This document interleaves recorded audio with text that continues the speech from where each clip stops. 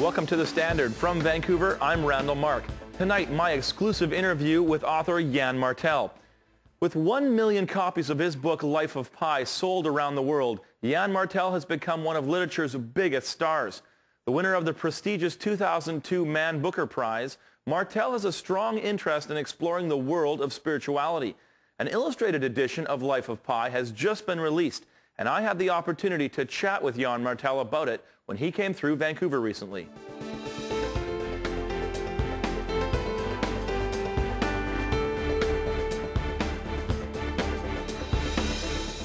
Well, thanks for coming on our show tonight. This is uh, a real pleasure to have you. Your book, which is about the relationship between a 16-year-old boy who was shipwrecked uh, in, in, on a lifeboat with a tiger, really explores those some fascinating dynamics of religion and what it means to be human. What I was struck, though, first is that your book was released on September 11th, 2001 in Canada, mm-hmm. the day the Twin Towers were attacked. And that was the day, really, that many people started to talk about religion in an open way. You're not shy of talking about religion. You seem to be very open about that. Why? Yeah. Um, because the book's about that, and if I have to talk about the book, I have to talk about it. But you're right that when I started working on this book, I felt it was deeply unfashionable. Here I was, a literary novelist, taking religion seriously, not discussing it to dismiss it. And I thought, God, no one's going to read this book. Mm. It's so unfashionable. Uh, and then you're right, it came out the day these supposedly civilizations clashed. Mm. And suddenly it was kind of fashionable to discuss religion, still in a very Still, discussion of religion tends to ignore its reality and focus on its distortions. Yeah, you talk about, you, you, in one of your interviews I read, you talked about cynicism. It's so easy to be cynical about uh, paper-thin varieties of religion. Absolutely. Uh, but you wanted to take religion far more seriously in, in, in a depth, in a deep way.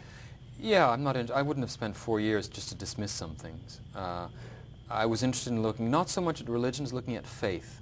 Hmm. What do you mean by that? What's the difference for well, you? Well, I mean, religion to me is the practice of faith, but I was more interested in that initial impetus of that initial spark whereby you start believing in something beyond the material. Because we tend to, I mean, after all, we live in a material world mm -hmm. uh, um, where one where the link of cause and effect is very obvious. Mm -hmm. uh, so to read about people, to, to write about people who believe beyond the material suddenly intrigued me when I got to India. Up till then, I'd been, I suppose, very much a materialist in the sense of a rationalist, uh, mm. believe in empirical evidence. There's no empirical evidence for faith, therefore it's to be dismissed, uh, which I think is kind of short-sighted. Um, so when I was in India, I decided to explore that. What does it mean to have faith? These people who have faith, why do they have it? Mm -hmm. It mm-hmm. doesn't make sense, and you can argue until you're blue in the face with them. Still, they continue to believe. Yeah, and what's that about? And you you explored that person. That's just not about Absolutely. your writing. Uh, where is that for you now? I mean, it, it, does it get a, get a certain uh, ex expression in a certain faith for you? In a broad sense of faith, it does. Because I didn't grow up religiously, I don't have any gut hate of any particular religion, mm. but nor any sort of ancestral Draw attraction or to attraction. one. Okay. Now, being a Westerner, being a Quebecois, you know, ethnically, I suppose I'm Roman Catholic. Did you go to Mass growing up at all? No, not at all. My parents are very secular uh, of that generation that rebelled against religion in Quebec, the Quiet Revolution. So my parents are quite anti-clerical. Mm. Their whole generation is. Mm. My parents are in their mid-60s. They're very anti-clerical. So uh, at most what I got when I was a child was religion as anthropology. Like, you isn't know, that interesting? Let's study the people who... A bit. Like, you know, there are people in Papua New Guinea who put, you know, bones through their hmm. noses, mm. and uh, uh, in a sense, Catholics and Jews and Muslims were kind of like that, too. These are strange practices. They're not necessarily harmful, but they're strange, they're curious, you know, mm -hmm. we're looking at them from the outside and we don't do this. We have replaced that kind of thinking with other thinking. Mm -hmm. In other words, one God's being replaced by another and in the secular world it's often art or perhaps politics mm -hmm. or, or good citizenship, something like Science that. Something Science, like that. Yeah, something yeah. like that. And um, my entry point into it is I just got tired of being reasonable.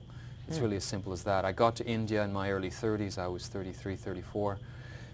And I'd studied philosophy at university, which is a really good way to make you anti-religious and very reasonable. Mm -hmm. And I got to India and I finally realized, in a very unconscious way, that this, it was getting me nowhere. Hmm. That just being re reasonable... What do you mean nowhere? Like you said, well, it, it wasn't... It wasn't giving me a sense of who I was. It wasn't giving me a sense of wholeness. To be reasonable is just into to put into practice a tool But, but using a tool doesn't give you a sense of why you should use it. Okay. So for example, a, a, a, car, for example, very concrete example, a car is an incredibly powerful device. But sitting in a car with your foot on the accelerator, there's nothing there that tells you where you should go. Hmm. Whether you should go on a coastal drive or visit your grandmother. Or why or you're even driving in the first place. Or why you're driving in the first place. You have to find something before you step into the car to tell you where to go. Hmm.